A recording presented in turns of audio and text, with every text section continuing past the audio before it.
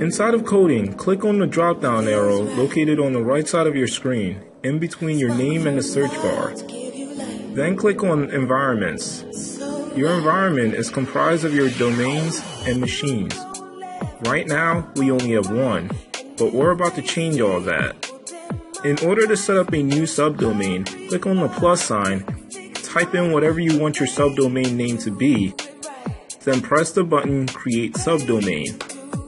Click and drag your newly created subdomain to your virtual machine until an alert appears on your screen asking whether or not you want to assign your newly created subdomain to your VM.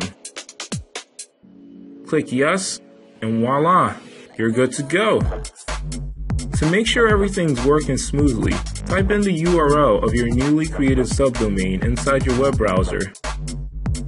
Success!